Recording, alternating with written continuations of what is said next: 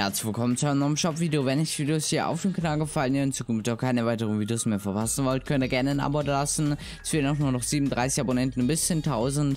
Wäre auf jeden Fall super nice wenn wir das diese Woche erreichen könnten. Ihr könnt euch auch gerne dieses Video bewerten, kommentieren und teilen, würde mich ebenso freuen.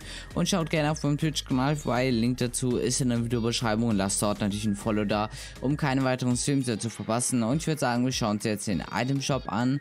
Und äh, dort haben wir heute den Wiki-Skin wieder drin. Das war ja der Skin, der gestern neu im Shop war. Hier ist das Besondere, dass man ein integriertes Emote hat, womit man dann zwischen den ganzen Stilen während des Games wechseln kann. Also immer wenn man den Emote ausführt, äh, kommt immer der nächste Stil. Funktioniert jetzt im Shop nicht ganz so. Eigentlich müsste dann eben halt wieder der graue Stil danach kommen. Also ich kann euch auch noch einmal die Stile zeigen. Also als erstes, wenn man das integrierte Emote hat, dann beginnt er immer bei dem, den man am Anfang ausgewählt hat, beispielsweise dem Standardstil dann. Wenn man das dann einmal ausführt, kommt dann der schwarze Stil, dann der graue Stil und dann der rote Stil. Ist auf jeden Fall ganz nice. Zusätzlich hat man hier noch einmal die Version mit Kapuze ab, die man auswählen kann.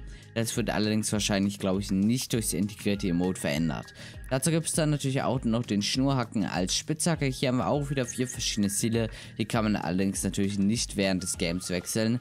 Auf jeden Fall hier auch einmal den Standard, dann den schwarzen, den grauen und dann den roten Stil. Ist eigentlich auch ganz nice. Dann haben wir als nächstes den, äh, den Complex Skin hier.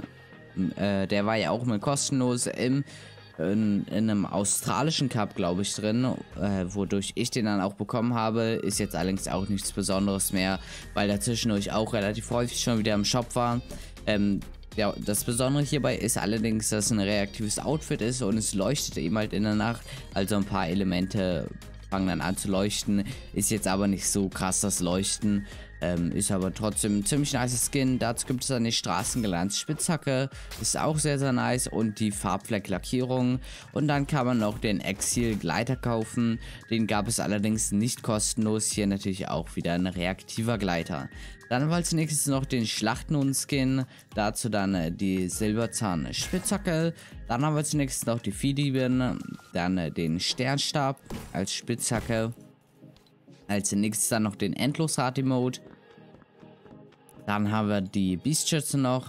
Dann den Pop-Sternchen-Emote.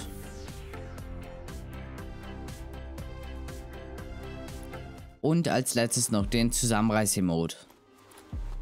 Das war's dann auch mit dem heutigen Shop-Video. Ich hoffe, es hat euch gefallen. Schreibt mir gerne weitere Videovorschläge in den Kommentaren, würde mich auf jeden Fall interessieren. Und ich hoffe, wir sehen uns dann beim nächsten Video wieder. Bis dahin, ciao.